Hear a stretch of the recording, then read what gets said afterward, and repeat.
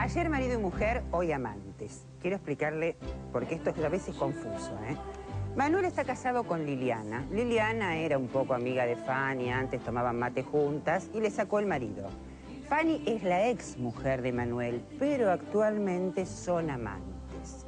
Ahora Fanny tiene un rencor adentro del alma que ha planeado una venganza para con Liliana, la actual pareja de, Manuel. Así que a último momento va a haber una sorpresa que va a cambiar por completo esta historia. A las seis de la tarde.